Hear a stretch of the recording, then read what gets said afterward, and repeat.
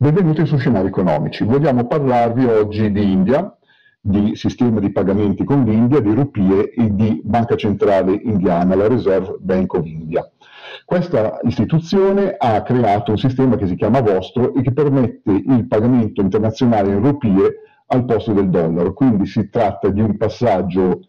necessario per introdurre nei mercati internazionali la rupia e per permettere alle aziende indiane di abbandonare il dollaro ed effettuare il pagamento dell'import ed export nelle, nella moneta nazionale indiana.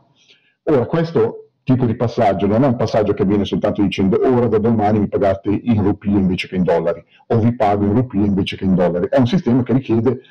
un, la creazione di un sistema ad hoc di pagamenti internazionali. Il vostro, che tra l'altro il nome che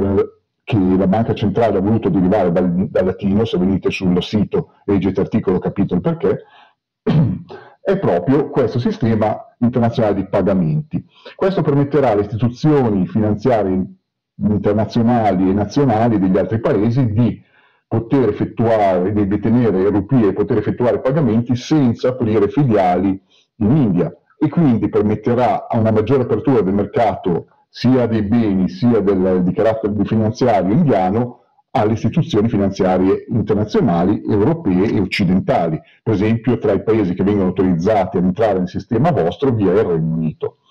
Noi sappiamo che 38, 38 banche russe sono, già, sono, state già autorizzate a utilizzare questo sistema